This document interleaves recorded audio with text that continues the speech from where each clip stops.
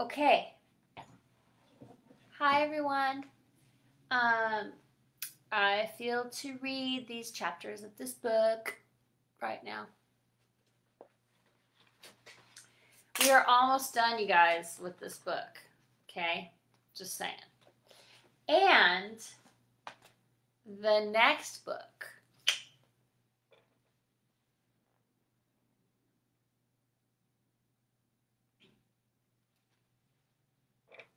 I wasn't sure what the next book was going to be or if I was going to do a next book.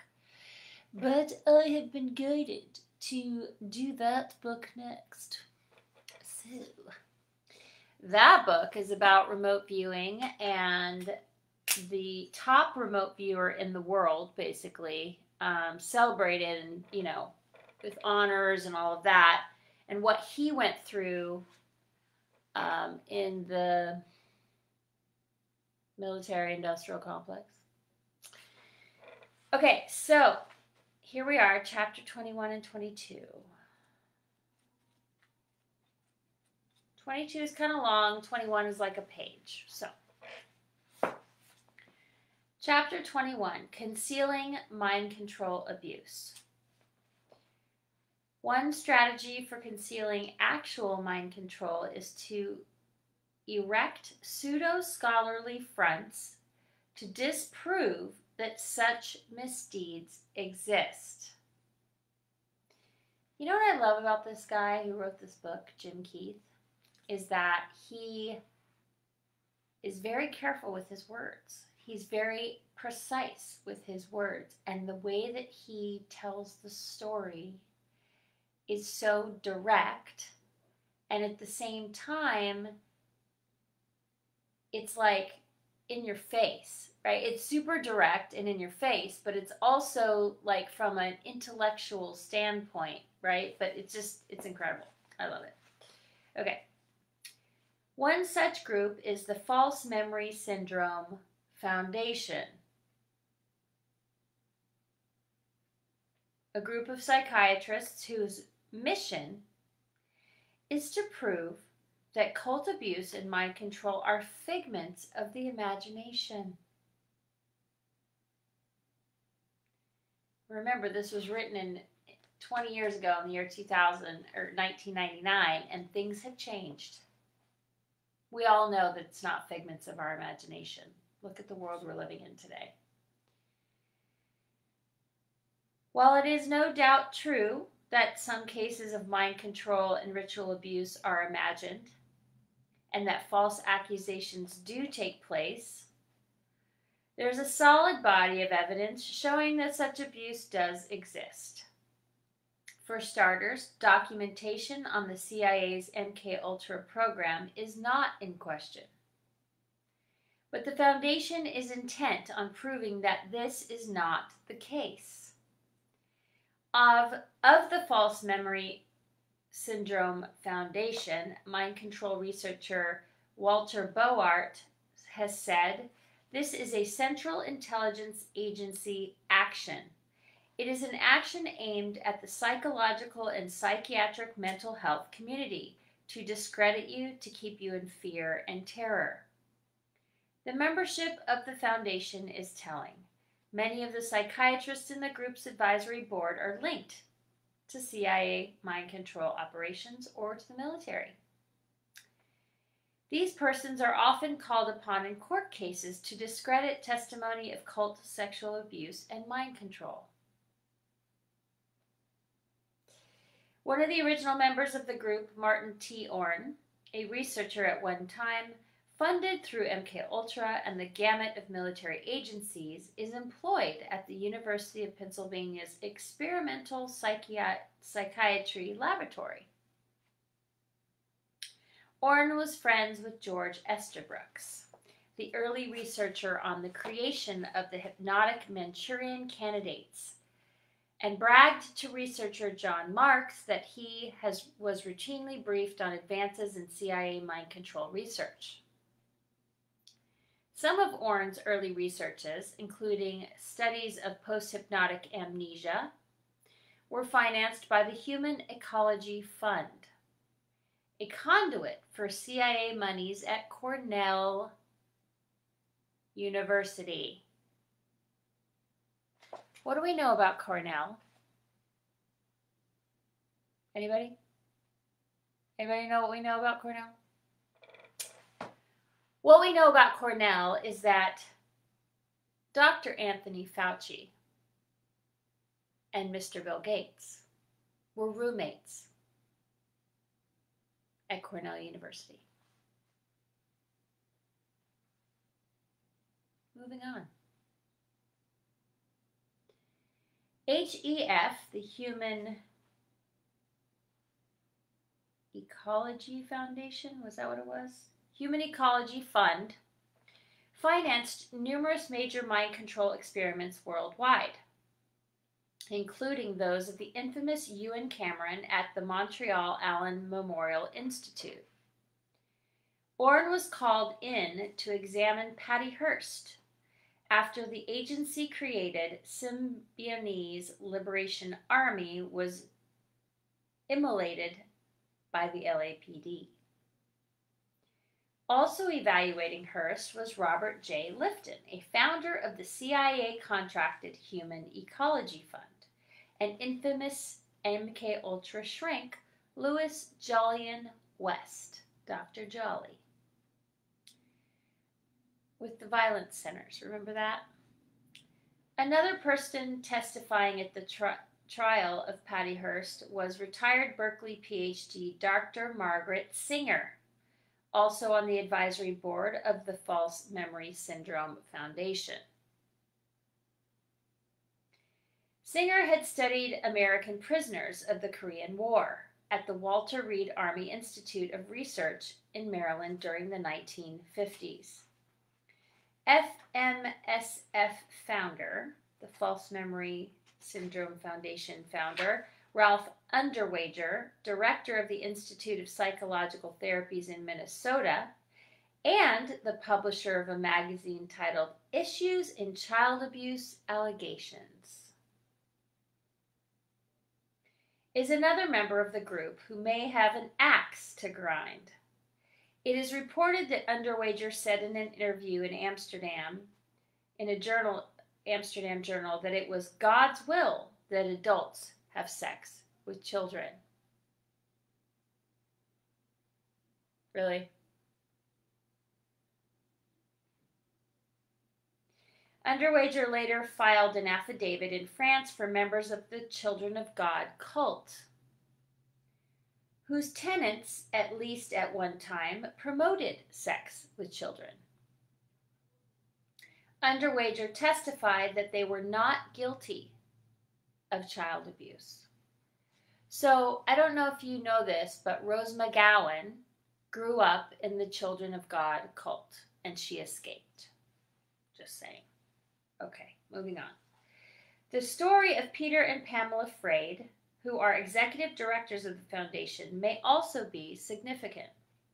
The Freyds have been accused of sexual abuse by their daughter Jennifer who is a professor of psychology at the University of Oregon. Pamela Freyd called in her own psychiatrist, Dr. Harold Lief, an original board member of the FMSF. His determination was that Jennifer had not been abused. Lief himself was a major in the Army Medical Corps was on the University of Pennsylvania faculty during the time that the university was conducting federal funded experiments in behavior modification and, and assisted Dr. Orrin in studies on hypnotic programming. Another strategy for discrediting victims of mind control abuse and therapists who are investigating this subject are criminal charges. In 1998, the federal government initiated criminal charges against Texas psychologist Dr. Judith, Judith Peterson, charging that she had intentionally implanted false memories into her clients in order to extend their period of therapy. Dr. Peterson was also charged with mail fraud for mailing those clients bills through the mail. At the time of this writing, the government had only interviewed disgruntled patients and their attorneys, neglecting to interview Dr. Peterson or clients whose experience with, the, experience with her had been positive. Earlier, the same alleged, alleged victims of fraud complained to the Texas Department of Mental Health and Mental Retardation and the Texas Department of Health. After investigations by those bodies, Dr. Peterson was found to be innocent of the charges. Okay. Now that if that doesn't tell you that this whole system is rigged, I don't know what does. Because that was a page and a half of writing and it listed five or more cases of situations where everybody protected everybody else to have their back and that they believe in sex with children. Okay, so the psychiatrists who are therapizing the victims are placing false memories in the victims and then accusing them of falsifying their memories and then keeping them innocent and out of jail for their actions of sex with children and mind control. Okay? Got that? Okay. Moving on, chapter 22 electronic mind control. Now, I'm not going to comment on that chapter eh, with my own personal experience because I'll just say this one sentence.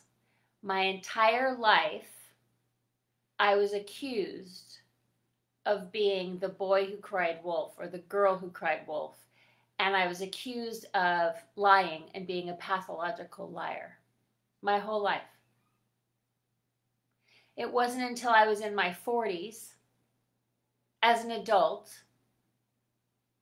with my father and I having no communication for years, that I was able to dismantle some of that in order to believe myself and my memories that were clear as a bell and detailed and coincided with my life in such a way that I could not deny them. I did this on my own because prior to that, when I was 16 and was in therapy, they told me I was mentally unstable. They wanted to put me on drugs. My mom, fortunately for me, protected me from that. But later on, my dad managed to get me on drugs for two months, right? He would have had me locked up in a mental hospital to keep that secret. But fortunately for me, I'm too smart for that. And I figured it out and I got myself out of it. Right? Okay. Moving on. Moving on. Electronic Mind Control, Chapter 22. A giant leap forward in the technical capability for mind control came with the discovery that electromagnetic energy could be used to influence, disable, or kill humans at a distance. Okay, EMFs, right? What are we dealing with right now? 5 to the G to the whatever. Okay, the famous scientist Nikola Tesla, Nikola Tesla was one of the first persons to delve into the effects of electromagnetics on the human organism with E.L. Chaffee and R.U. Light following in 1934. R.U. Light. Isn't that? Cute. With the monograph, A Method for the Remote Control of Electrical Stimulation of the Nervous System. In the same year, Soviet scientist Leonid L. Vasilev, Vasiliev wrote Critical Evaluation of the Hypno hypogenic method. About the discoveries of Dr. I.F. Tomaszewski and his research into remote influencing of the brain through radio waves. Vasilev wrote As a control of the subject's condition when she was outside the laboratory in another set of experiments, a radio setup was used. Not many experiments of this sort were carried out, but the results obtained indicate that the method of using radio signals substantially enhances the experimental possibilities. Later in the paper, Vasilev wrote, Tomaszewski carried out the first experiment with this subject at a distance of one or two rooms and under conditions where the participant would not know or suspect that she would be experimented with. In other cases, the sender was not in the same house and someone else observed the subject's behavior. Subsequent experiments at considerable distances were successful. One such experiment was carried out in a part at a distance. Mental suggestion to go to sleep was complied with within a minute.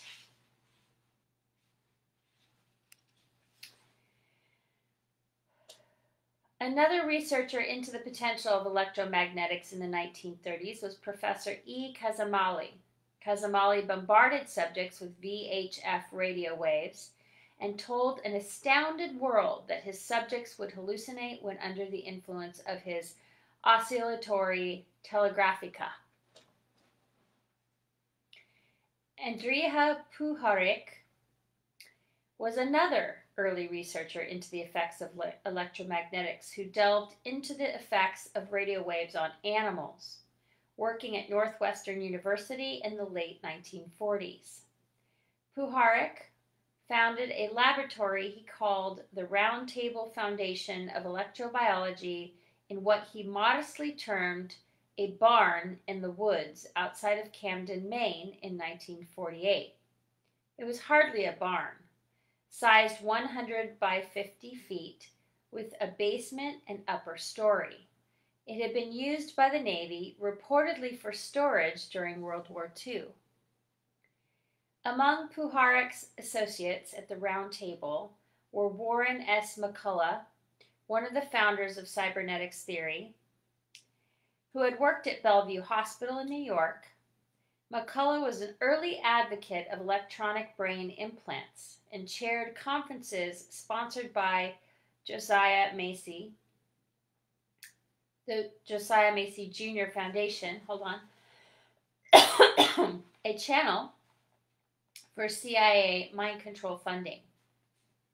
Another associate of Puharich's was John Hayes Hammond, said to have been Nikola Tesla's only student.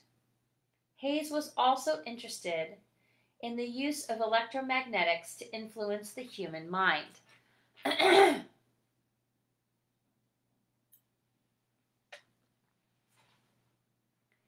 After the demise of Puharich's roundtable, he spent time with social engineer Alex Huxley, Aldous Huxley, in Tecate, Mexico, after studying the effects of electronics on the human organism. Puharich was also employed at the Army's Chemical and Biological Warfare Center at Fort Detrick, Maryland, researching the effects of LSD for the CIA in 1954. he delved into the effects of digitoid drugs at the per- Permanente Research Foundation with funding from the Sandoz Chemical Works. Among Puharich's accomplishments was the design of what is in, described as a radio tooth implant, the technical specs of which were sold to the CIA. At a conference on electromagnetism in September of 1987, Puharich described this invention. We were able to develop a hearing device that fit under the cap of a tooth and we could hear very clearly from a small little relay and receiver and transmitter, and unfortunately, it was promptly classified by an agency of our government. But we did solve the problem in terms of hardware. The radio tooth implant may still be in use. According to the Chemical and Engineering News for February 5, 1996, in a story titled Hong Kong professor sues U.S. for mind control. Let me read that again. Hong Kong professor sues U.S. for mind control. The South China Morning Post reported on January 25th that an assistant professor at the University of Science and Technology, Hong Kong, has filed a $100 million suit against the U.S. government for implanting mind controlled devices in his teeth. Hong, Huang Ximing charges that the devices were implanted during root canal work in 1991 while he was studying at the University of Iowa. According to Morning Post reported Patricia Young. Another student at Iowa University, who, like Huang, was born in China, had gone on a shooting spree, and the feds, Huang says, put the devices in his teeth to find out if he was involved. The Hong Kong professor says he suffered an Alzheimer's disease like memory loss that hampered his teaching. It stopped, he says, only when he sought legal aid to mount his lawsuit. Besides the U.S., the suit names the University of Science and Technology on the grounds that it was involved in continuing the mind control work. It also seeks punitive damages of $1 million from the defendants for low ethical standards. Huang claims that one of the devices in his teeth can read his thoughts and talk to his mind when he's asleep. A second device, he believes, transmits pictures of what he sees to a receiver for recording. The mind controller, he says, can drive him to bad behavior. He gives two examples, one of which cannot be mentioned in a family magazine. Huang is not alone in his complaints about having mind control devices implanted in his teeth. David B. recounts his story. X rays revealed a metal object on the left side of my skull, under the jaw, in the soft tissue of my neck.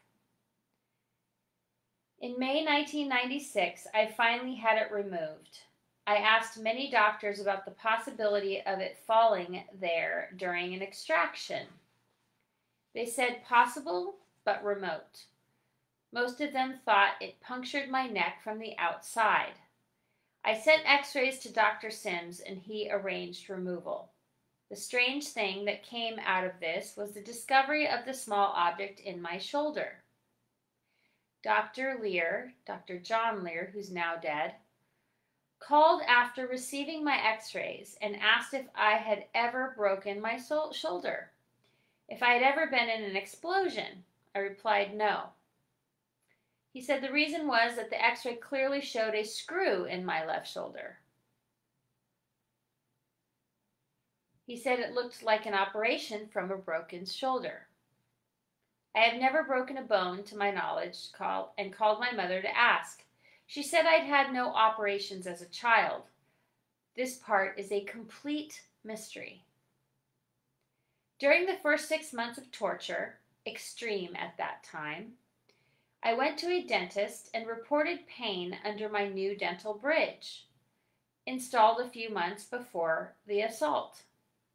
He removed it and I was still in contact.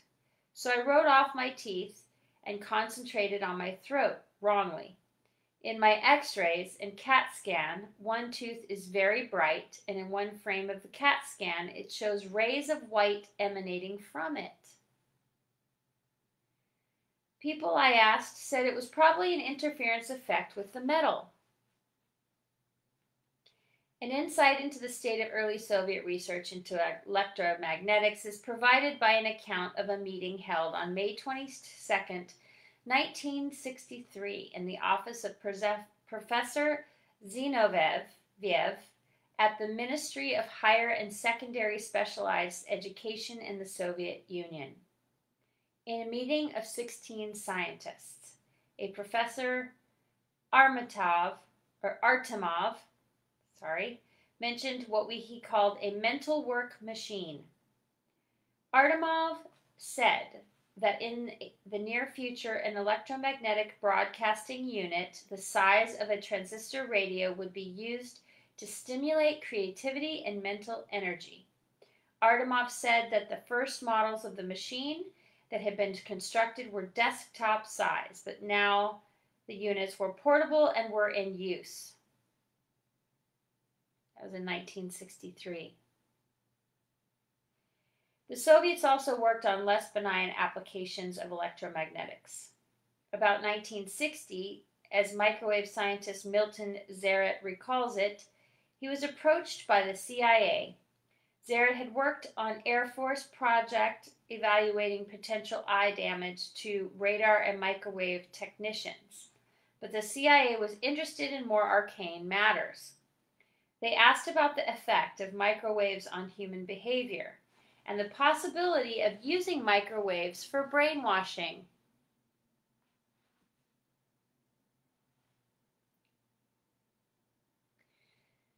Later in 1965, they finally disclosed to Zaret why they were interested.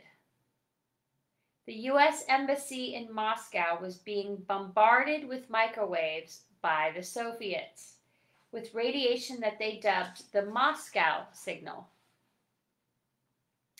Zaret was briefed on Project Pandora, a government program in progress that was aimed at finding out why the Soviets were irradiating the embassy and perhaps turning that research to the CIA's own purposes. In one Project Pandora experiment, chimpanzees were irradiated with microwave bursts.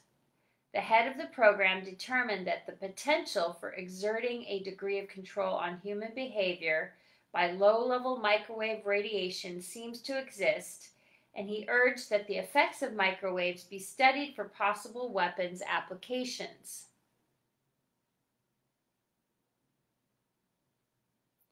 Zarek conducted his own tests and determined that whatever other reasons the Russians may have had, they believed the beam would modify the behavior of this personnel. Zaret's recommendations were simple. The American government should demand that the Soviets stop irradiating its employees. Persons stationed at the embassy should also be briefed on what was going on, which they had not been, and be given the option of transferring to other areas of the world.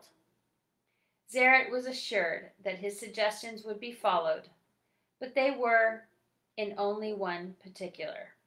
President Lyndon B. Johnson issued a demand to the Soviets that the irradiation end. They ignored him. Embassy personnel were never told that they were being subjected to electromagnetic irradiation, nor that tests showed many of them were afflicted with terrible medical problems. Ambassador Walter J. Stoessel had problems with bleeding from the eyes and was diagnosed with a blood disease similar to leukemia. The two previous ambassadors had both died of cancer. State Department tests also found what they described as a slightly higher white blood cell count in one third of the employees tested but in fact, their lymphocyte count was 40% higher than normal. Several children of embassy employees were found to have blood disorders. They would only learn of the source of their illnesses in 1972, when newspaper columnist Jack Anderson would blow the whistle on the Moscow signal in the newspaper column. A possible byproduct of Project Pandora is that in 1961, Dr. Alan Frey reported that microwaves are sometimes audible to humans, although the discovery was dismissed by many scientists as being a case of outside noise. Frey's experiment was later described in detail by James C. Lin in his Microwave Auditory Effects and Applications. All right, I can tell you right now that where I'm living, we are being microwaved. I can hear an audible high frequency tone right now, when I take my headphones off, when I'm going to sleep at night, it's happening. We're being fried. I live in the city in an apartment building. Not my first choice, but it's where I am right now, assigned. So,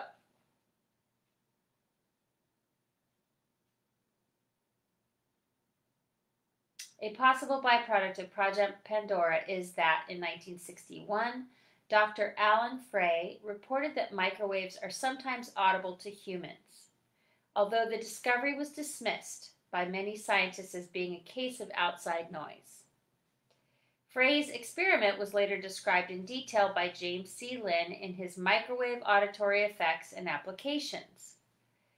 Frey found that human subjects exposed to 1310 millihertz and 2982 millihertz microwaves at average power densities of 0.4 to 2 milliwatts per square centimeter perceived auditory sensations described as buzzing or knocking sounds. The peak power densities were on the order of 2 to 300 microwaves per square centimeter, and the pulse repetition frequencies varied from 200 to 400 hertz. So imagine 60 gigahertz. Just saying. Frey referred this to this auditory phenomenon as the RF radio frequency sound. The sensation occurred instantaneously at average incident power densities, well below the, that necessary for known biological damage, and appeared to originate from within or near the back of the head. There were important ramifications to Frey's discovery. In his paper, Human Auditory System Response to Modulated Electromagnetic Energy, Frey explained how voices can be beamed directly into an individual's head. Among other areas of research, Frey also delved into the induction of heart seizures by beamed electromagnetics. Other Pandora personnel included Operation Paperclip Nazis like Dr. Dietrich Beischer, who irradiated 7,000 Navy crewmen with dangerous levels of radiation at the Naval Aerospace Research Laboratory in Pensacola, Florida. Beischer simply disappeared in 1977, with records of his employment and his existence expunged. Spanish researchers maintain that brain implant specialist Dr. Jose Delgado was also involved in Pandora. In 1972, the Department of the Army released a report titled Controlled Offensive Behavior USSR, documenting 500 Russian studies of the use of super high frequency electromagnetic oscillations. SHF may be used as a technique for altering human behavior, the report stated. Legal and non lethal effects, lethal and non lethal effects have been shown to exist. In certain non lethal exposures, definite behavioral changes have occurred. In the same year, the U.S. Army Mobility Equipment Research and Development Center released a study titled Analysis of Microwaves for Barrier Warfare. The report discussed the use of truck portable microwave broadcasting systems that would be used to irradiate and immobilize people, and suggested that with the current state of armament, there was no way of protecting against the use of such a system.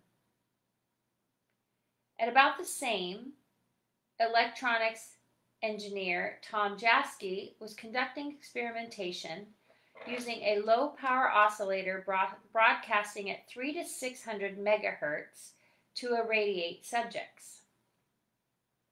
In repeated trials, subjects were able to detect the electromagnetic sweeps, and at these individual frequencies, the same subjects announced having experienced pulsing sensations in the brain, ringing in the ears, and an odd desire to bite the experimenters. As research in mind control progressed, the potential of directly and precisely influencing the human brain with microwaves became apparent. Technologies whereby emotions, messages, and subliminal commands could be beamed directly to the brain of unwitting subjects were researched by both the American and the Soviet governments. Among many other projects, the Department of Defense funded work of J.F. Schapitz, who in 1974 proposed the use of radio broadcasting in conjunction with hypnotic control.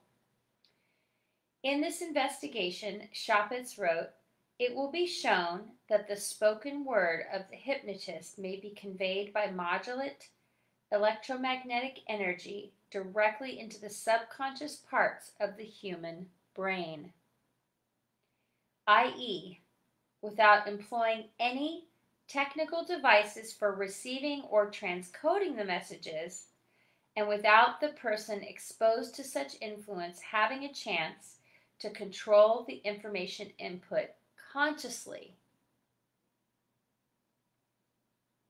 The second experiment was to be the implanting of hypnotic suggestions for simple acts, like leaving the lab to buy some particular item, which were to be triggered by a suggested time, spoken word, or sight. Subjects were to be interviewed later it may be expected that they rationalize their behavior and consider it to be undertaken out of their own free will. The results of Schapitz's, experimentation have never been released to the public. In 1978, Dr. Andrew Michrowski wrote that potentially almost anything could be inserted into the target brain mind systems and such insertions would be processed by the biosystems as internally generated data slash effects.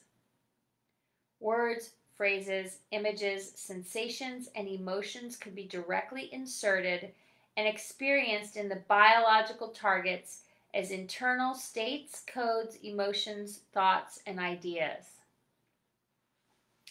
On April 20th, 1976, an apparatus and method for remotely monitoring and altering brain waves was patented. Oh, how lovely. Its inventor was Robert G. Malech of New York. According to the patent abstract, it is an apparatus for and method of sensing brainwaves at a position remote from a subject whereby electromagnetic signals of different frequencies are simultaneously transmitted to the brain of the subject. Although somewhat technical in its jargon, the summary of the invention in the patent bears wading through for the interested researcher. Quote, the present invention relates to apparatus and a method for monitoring brainwaves wherein all components of the apparatus employed are remote from the test subject. More specifically, high frequency transmitters are operated to radiate electromagnetic energy of different frequencies through antennas, which are capable of scanning the entire brain of the test subject or any desired region thereof. This is in the 70s, folks. Just saying. The signals of different frequencies penetrate the skull of the subject and impinge upon the brain, where they mix to yield an interference wave modulated by radiation from the brain's natural electrical activity.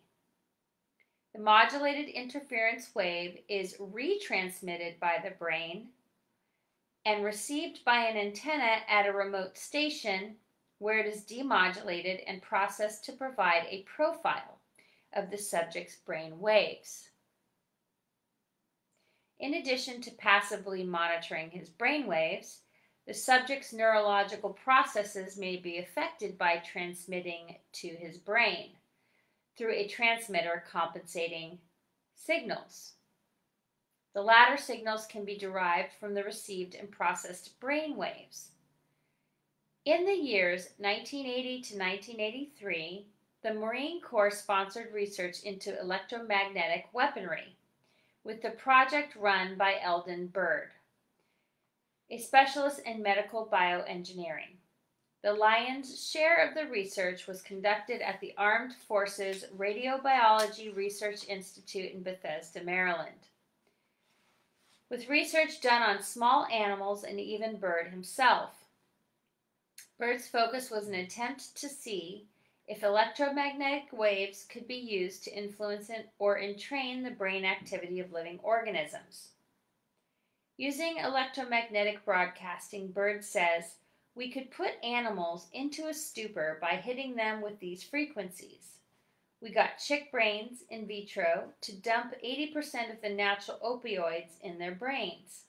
The effects were non lethal and reversible. You could disable a person temporarily, Byrd suggests that it would have been like a stun gun. Byrd's program was scheduled for four years, but was closed down after two. Byrd believes that it wasn't because the research was unsuccessful. Their work was really outstanding. We would have had a weapon in one year. Byrd's program, oh wait, sorry, Byrd believes that the work was not discontinued, but was instead simply taken out of his hands and turned into a black project. That statement is hardly outlandish, and numerous other researchers in electromagnetics tell a similar tale of having their work taken away from them at the precise point when they began to get successful results. As conservative a publication as the International Review of the Red Cross in 1990 acknowledged the ascendancy of beam weapons in the field of warfare.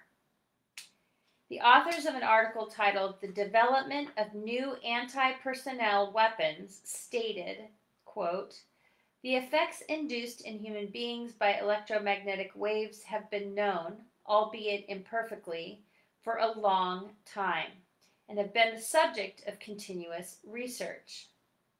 Depending on the frequency used, the emission mode, the energy radiated, and the shape and duration of the pulses used, electromagnetic radiation directed against the human body may produce heat and cause serious burns or even changes in the molecular structure of the tissues they reach.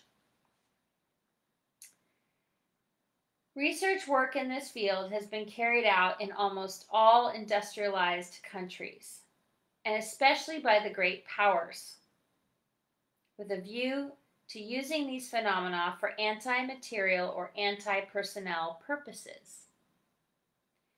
Tests have demonstrated that powerful microwave pulses could be used as a weapon in order to put the adversary hors de combat or even kill them.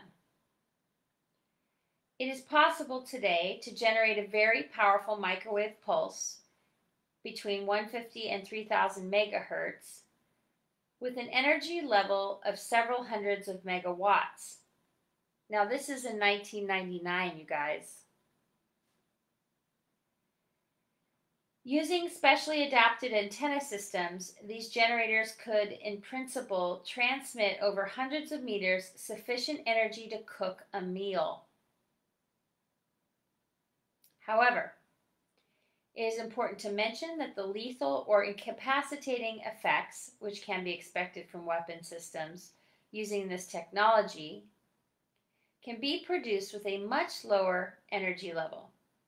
Using the principle of a magnetic field concentration, which permits, permits the control of the geometry on the target, by means of antenna systems especially designed for the purpose, the radiated energy can be concentrated on very small surfaces of the human body.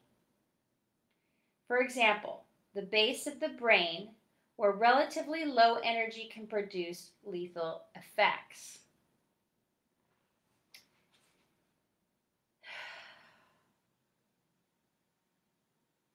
In 1991, the ITV News Bureau reported on the first known use of electronic subliminals on the battlefield and the true reason for the seemingly illogical and apparently suicidal attack by Iraqi troops on the deserted city of Al Khafji, Al Khafji, 12 miles south of the Kuwaiti border. According to ITV, the Iraqis had launched a successful attack meant to destroy an FM radio station that had been installed in Al Khafji by the U.S. Defense Department's PSYOPS branch.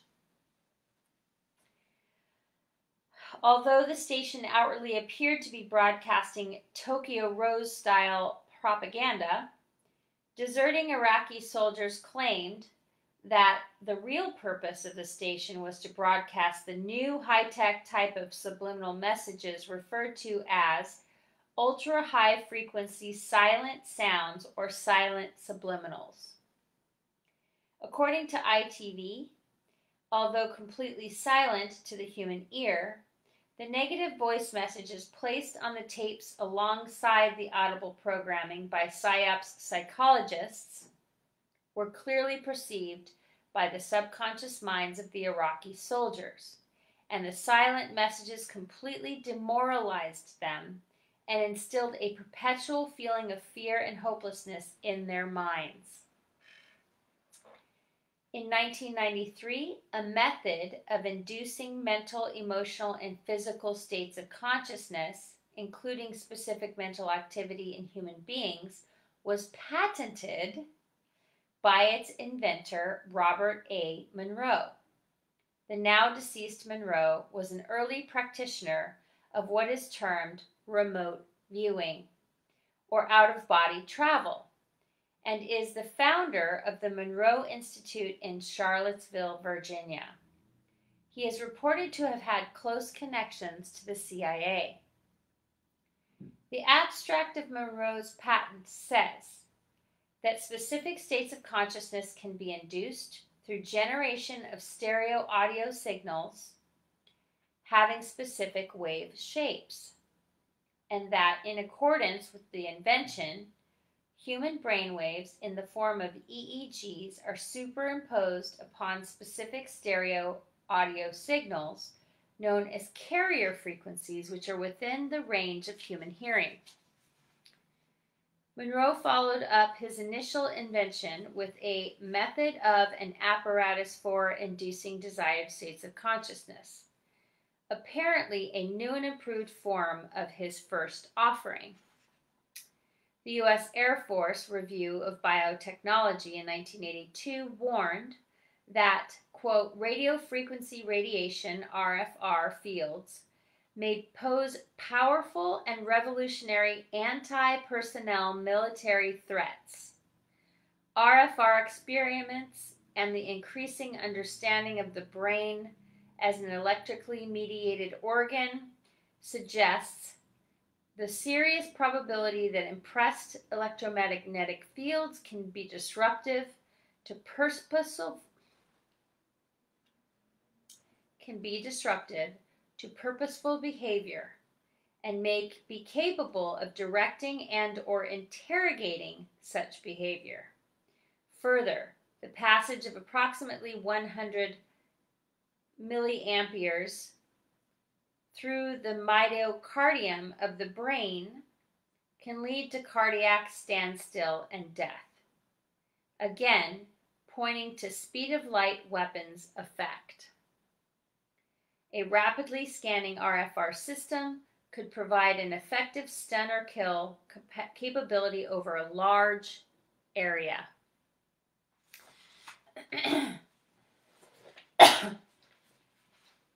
One second.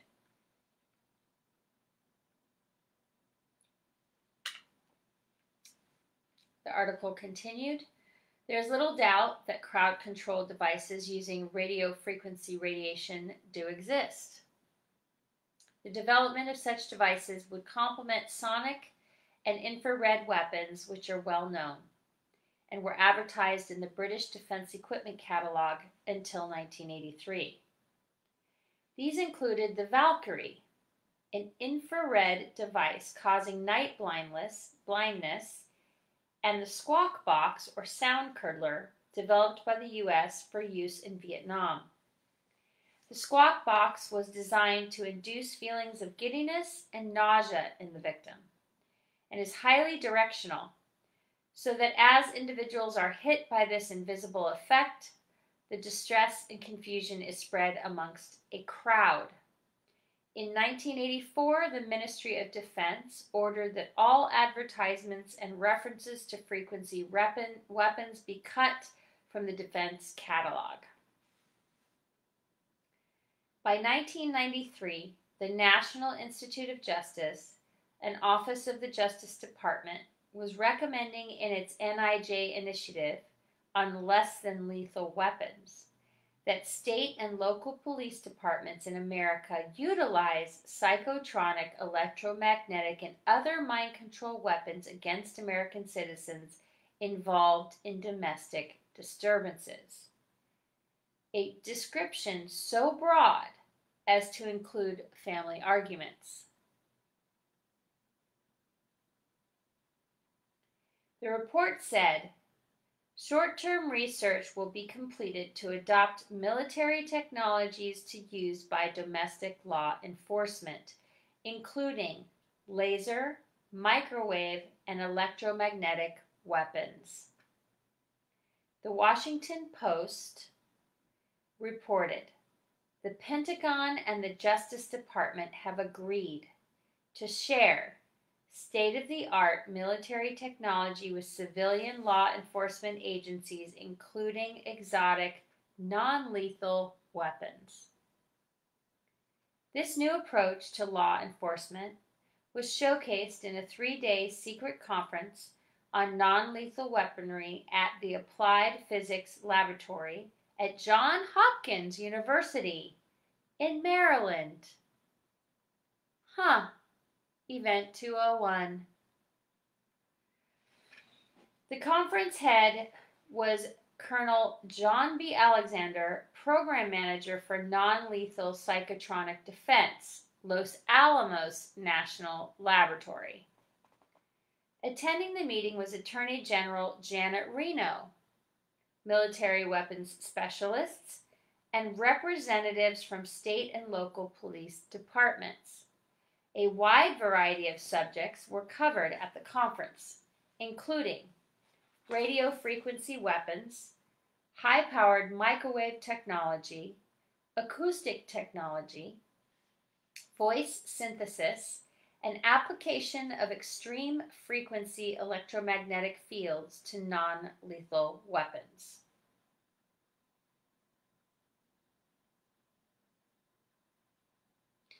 The U.S. Air Force has installed high power microwave generators on air launched cruise missiles. The stated purpose for the beam generators is to wage computer warfare, frying delicate computer components. But these generators would also theoretically be able to fry the delicate mental components of human beings. Has electromagnetic weaponry ever moved beyond the experimental stage and been used on citizens? Yes, it has.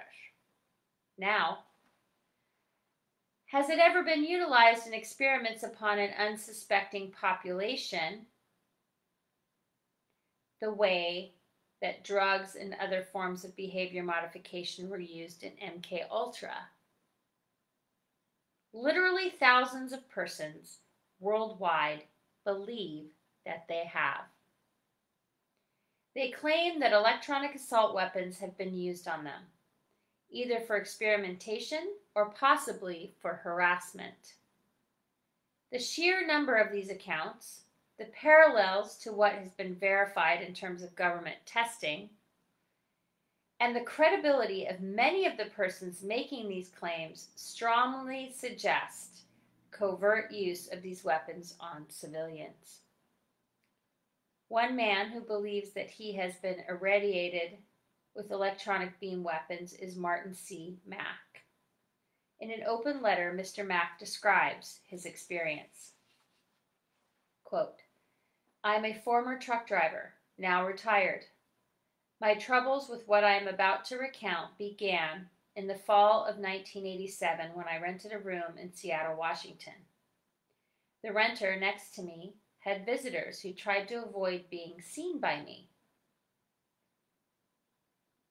Comments were made about me describing my actions, as if coming from his room. Somehow they were able to make me hear and also pick up on the process of my hearing, hear what I heard. As if my head, strange as that sounds, was a sort of antenna. And I picked things up, not subliminally, but audibly. They knew when I was coming and going and commented on such.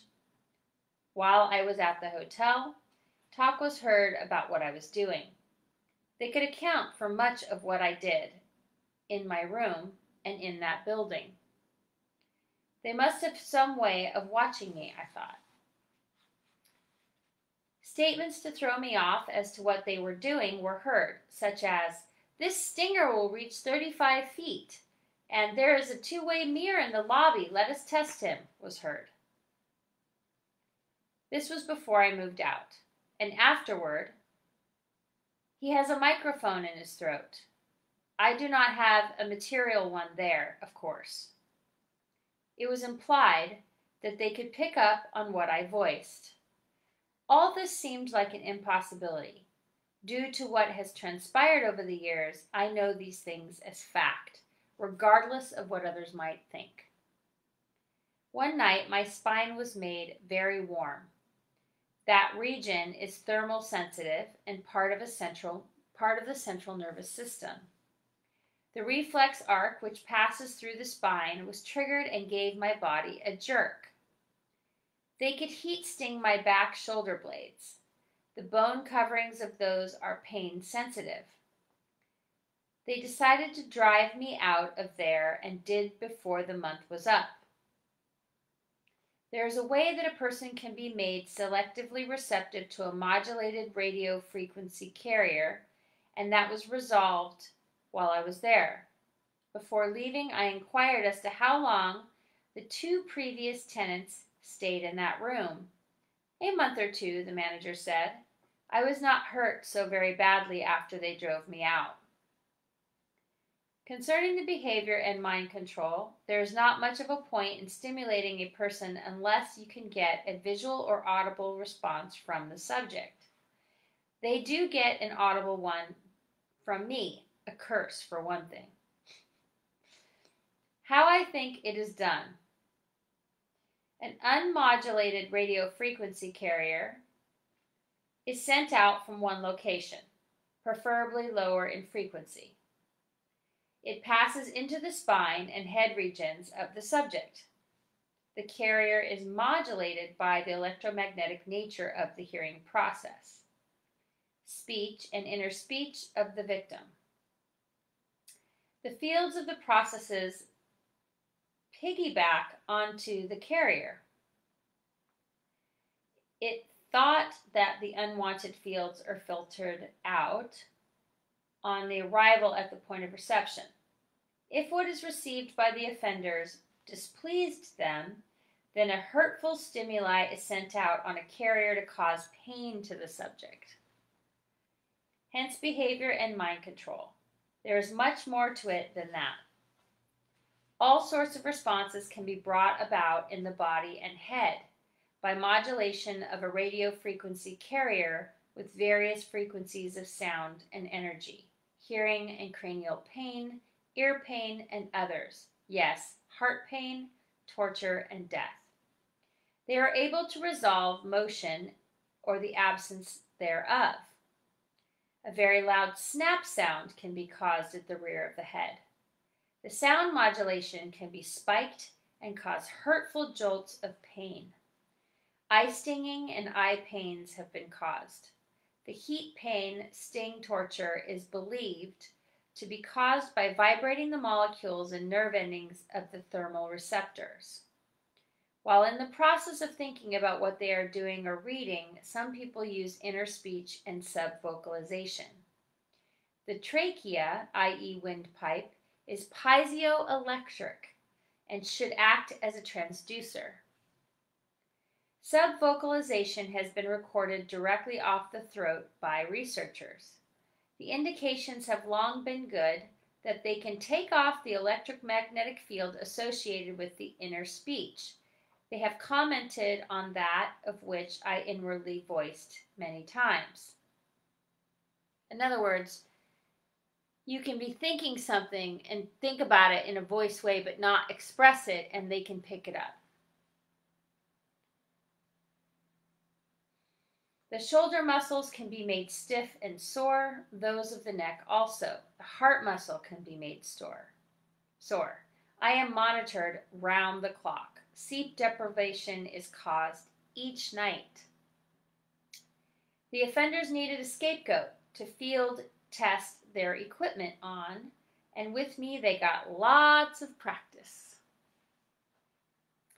Regina Cullen, a resident of the UK, also reports that she has been the victim of electronic assault. How many more pages do we have? A couple more pages. She feels that she was targeted for such harassment because of a complaint that she made against local police in 1984. After numerous examples of more overt forms of harassment, including having her bicycle tires slashed, her car broken into, and being physically assaulted twice, she says a new element of harassment appeared. My home was rendered uninhabitable by frequency assault. What I now know to be microwaves and or infrared infrasound was were used to turn the room into a torture chamber. Cullen reports that she was harassed with an irregularly pulsed humming sound impossible to tell which direction it came from, seemingly louder than one was lying down, when one was lying down. It reverberated most in the area just behind the ear, the mastoid bone area, which is filled with air pockets, and caused my eyes to ache and my forehead to feel fuzzy and interfered with. The woman was forced to change residences repeatedly during the ensuing years. She says, Sometime in outrage at being forced out of my home, I'd return in the middle of the night to find complete peace and quiet. But 10 or 20 minutes later, the frequency assault would begin again. At one location, she says, I believe the source of the assault was the flat above, unless microtechnology is hidden in one's own flat, for this took place on the 11th floor. There were no houses of comparable height nearby, and the flat above was inhabited by the building's caretaker. On the day this happened, there had been a man pretending to be asleep in a red car parked half onto the sidewalk in front of the building's entrance. I was instantly afraid of him, but warned myself not to be paranoid. Two weeks later, as I was running suddenly for a bus and looking over my shoulder, I got I caught him ducking behind a van to avoid being seen following me. Cullen says that earlier back at the bed sit, a single occupancy room, intuition had given me another clue to look out of my spy hole just at the hooligan just as the hooligan was being handed a strange box with orange hemispherical plastic knobs on each corner by a trench coated detective type who did not speak and took care not to creak the hallway doors. Not long after that, I saw him carrying in full view a small Christmas tree shaped aerial, and he seemed upset that I had seen it. On one occasion, as Cullen sat in her garden, Something shot through my head with a strange psst sound as it happened, seeming to come from behind the fence. I was terrified and could no longer sleep there any more. A year or so later, sitting in front of the window with the curtains open, the same thing happened again, and the TV instantly turned to snow.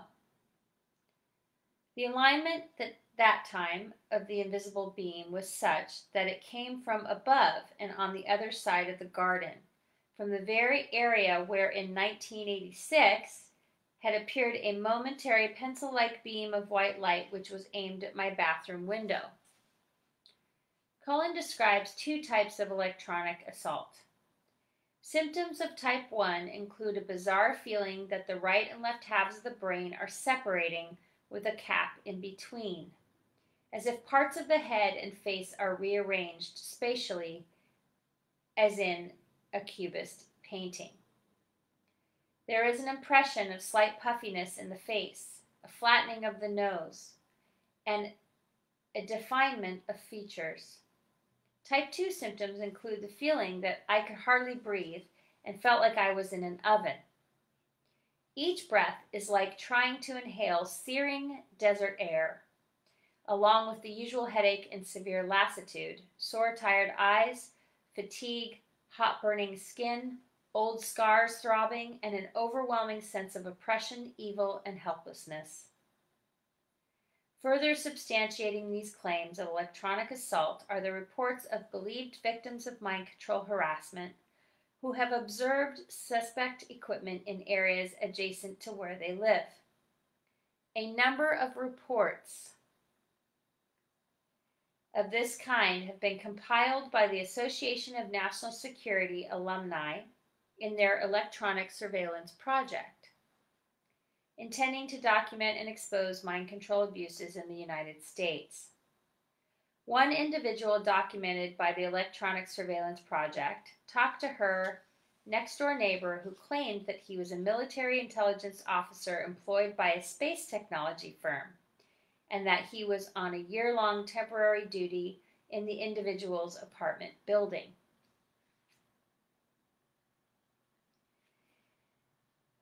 It was later determined that the individual was not employed in the military when the pretended military intelligence officer moved out of the apartment building. The contact went into his department, into his apartment and found a microwave oven sized device and that an excavation had been made in the wall facing her apartment. Another believed victim of mind control harassment looked through the window of her neighbor's apartment to see a one by five foot gray box, a black framed lens projected from the box facing in the direction of her apartment. According to the witness, the box was being operated in some fashion by a man in a three piece suit who was startled when he realized that he was being observed. Oh, that's it. Synthetic telepathy Yeah. So, my experience with this, do you want to hear, do you want to hear? I hope you want to hear. So, oh my God, there's so many stories I could tell you, but I will stick to the, well, what's currently going on with me is like freaking kindergarten compared to what I used to deal with before I left the United States and then upon returning it has returned. But so, all right. So in the United States, before I left the United States, I have many instances of being electronically beamed. Um, I have numerous places that I lived where I felt like I was being observed all the time. In fact,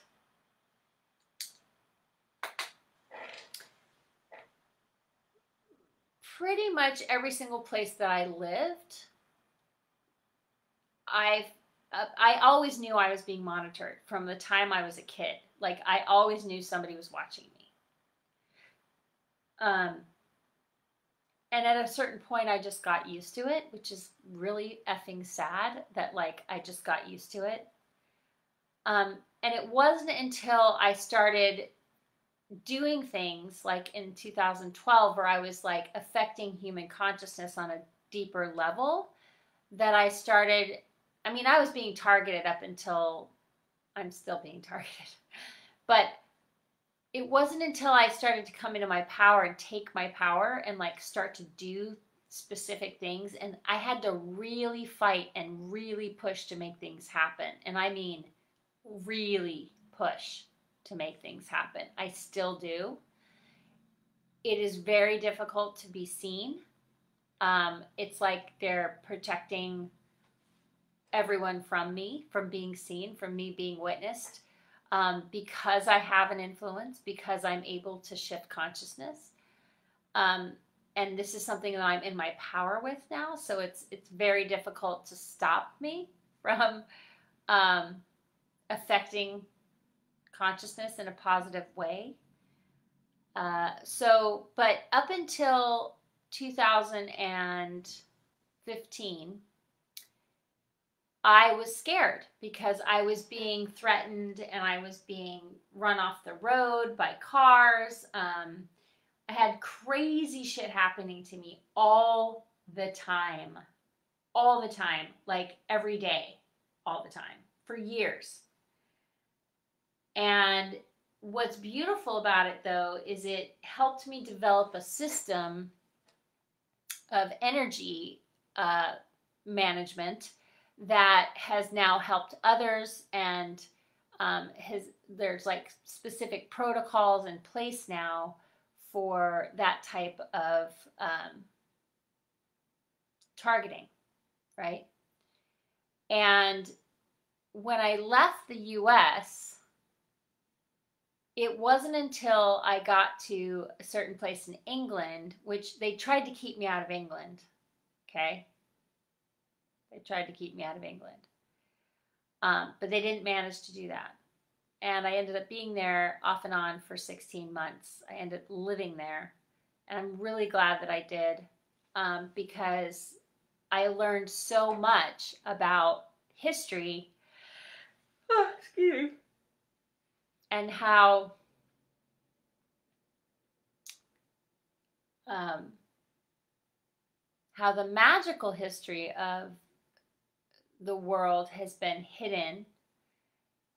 And I had a lot of targeting as well during that time, but not the same type of targeting. It wasn't a military type of targeting. It was more, it wasn't like an electronic harassment. It was more like people, right? So they would, so right now, as it stands, they their way of targeting me is very different now because they can't really get in um, energetically. So they have to go about it in different ways um, and bring people into my life or whatever. So it's a little bit more difficult now for them to be able to target me. Uh, it's not impossible, but they do a really good, they have to really maneuver and finagle to figure it out, you know? Um, and so one of the things that is really important to understand is that the electronic harassment is on the entire population now. So even if it's specific to you, chances are your next door neighbor is also experiencing it and they're doing a blanket targeting of, of like the population right now, clearly. And they're keeping people from rising up or freaking out or whatever and then they're targeting other people and making them freak out. So this is all just like a ploy. This is just like a big psyop. They're it's a mind fuck for them. They're just having a great time with it. They're just playing, right? And at the same time, they're panicking. And they're pulling out all the stops and they're using all the things that they have to try to keep the public from completely going off on them because they know that their time is up.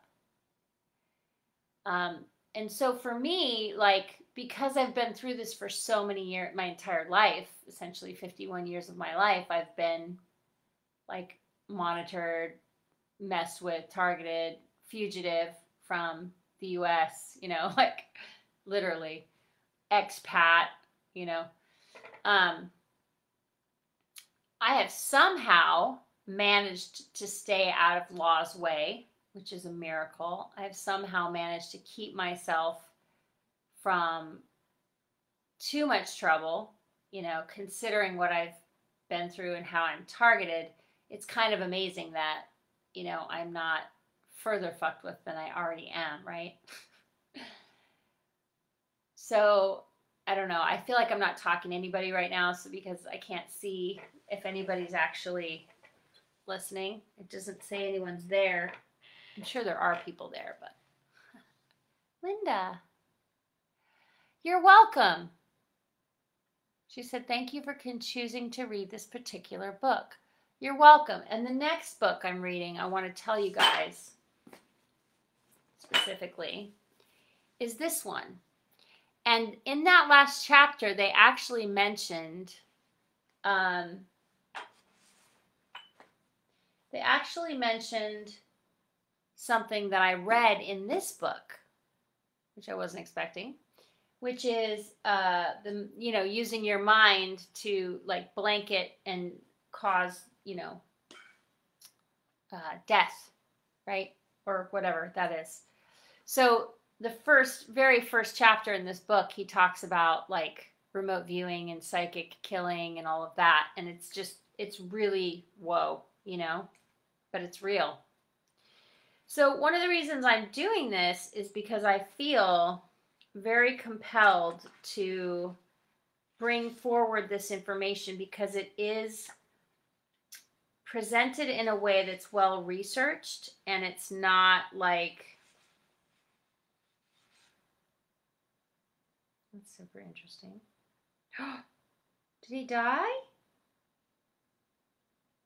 Oh, dude, I think he died. I think this guy is dead, actually. Because here's the thing that shows him, right? Um, it says Jim Keith, 1949 to 1999. I should check and see if this guy's still alive. He has some freaking amazing, there's some amazing books in here about conspiracy. Conspiracy. Can we just like, can we retire that term now? Because we all know, we all know that conspiracies end up being true. And there's no such thing as conspiracy. It was, it was actually populated by the the mainstream media in relation to you know the the uh, questioning of JFK's assassination, right? That's how the conspiracy theory um, conspiracy started.